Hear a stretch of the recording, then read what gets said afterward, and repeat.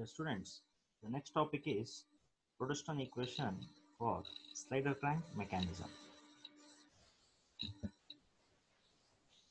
So Freudenstein equation for slider crank mechanism. So this is the slider crank mechanism. So consider a slider crank mechanism as shown in figure. So the displacement of the slider, the displacement of the slider, it is coordinated with the rotation of the crank OA. Now let us assume that the displacement of the slider is proportional to the rotation of the crank.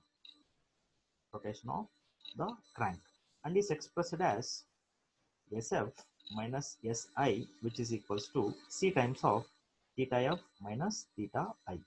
Now let us assume that the length of the crank as uh, L2 the length of connecting rod as L3. Now, let the position of uh, the slider with respect to x-axis, it is located at a distance of S and with respect to y-axis, it is located at a distance of E. And the position of the crank, let us assume that it is theta. Now, when the slider, when it is moving, let us assume that so the initial position of the slider, it is represented by SI. Similarly, when it moves over here, so that distance, it is represented as SF. So SF and SI are the initial and final positions of the slider. Okay. So this displacement of slider, it is correlated with the rotation of the crank. So with respect to the movement of the slider, the crank also it will move. So it will rotate from initial position to the final position. Now let us assume that the initial position of the crank with respect to SI, it is represented as theta I. Okay. And similarly for final position, it is represented as theta F. So theta I and theta F are initial positions of the crank. Similarly, SI and SF are the displacement of the slider with respect to the initial and final position. So where C is the constant of proportionality. S is the distance of the slider from the origin. Theta is angle of rotation of the crank from the line of the stroke. I and F are the subscripts for initial and final values respectively. Now let the coordinates of the points A and B. So I have taken the two points A and B. So now let us define the coordinates of this point A with respect to X and with respect to Y. Similarly, the coordinates of the point B with respect to Y and with respect to X. So when you see the coordinates of point A, so I will simply draw one line over here. So the distance of the point A along X direction, it will be up to here. So when I resolve this, so the horizontal length, it will be L2 times of cos theta. Similarly, the vertical distance, it will be L2 times of sine theta. So that gives the coordinates of the point A.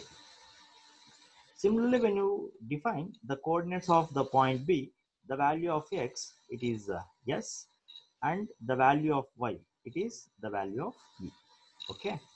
So the coordinates of the points xa and ya. So the value of xa, it will be L2 times of cos theta and the value of y, distance from here to here, it will be L2 times of sine theta. Similarly for this, the value of x, it is the smallest, the value of y, it is small e. Now, let us uh, take, so AB square. So this AB square, it can be represented as the horizontal distance that is uh, from here to here, right? You just form one triangle over here, right? So you apply Pythagoras theorem, okay? So when you apply Pythagoras I want distance from here to here, okay? So the distance from origin to here, it is XA, sorry, it is uh, XB. The distance from here to here, it is XA. So we can write it as xb minus xa whole square plus the distance from here to here. It is ya. The distance from here to here it is yb. So ya minus yb whole square. So we know the values of the corresponding uh, the x and y distances with respect to A and B positions. So xb it is uh, given as s, xa it is defined as L2 cos theta. Similarly, ya it is given as L2 sin theta, y by is e. We just substitute this. Okay, so s minus L2 cos theta whole square plus ya is uh, L2 into sin theta, y by is e whole square.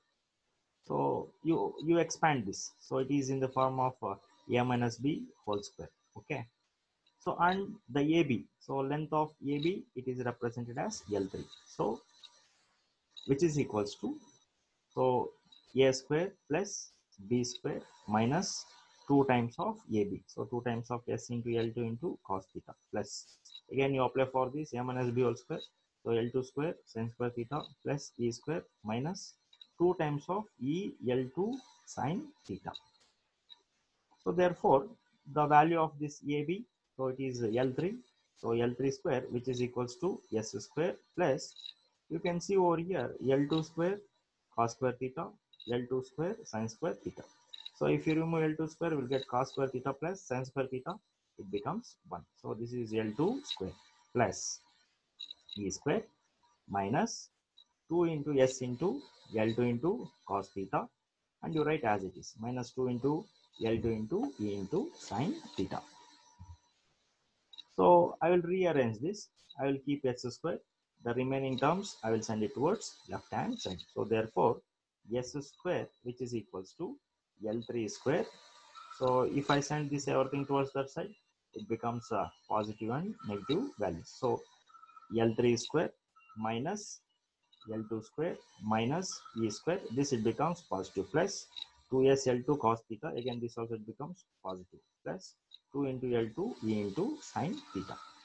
Now, let us assume that so the 2 times of L2 except this. Okay so 2 times of L2 I'll represent it as small k1 and similarly 2 times of L2E that I'll represent it as k2 and the value of this L3 square minus L2 square minus E square I'll represent it as k3 so on substituting this we'll get S square which is equals to so 2 times of L2 so that I'll represent as k1 so k1 yes cos theta plus this totally I represent as k2. So k2 sine theta plus this term it is represented by k3 plus k3. So this is the Freudenstein equation for slider crank mechanism. For more information, you can refer the textbook. Thank you.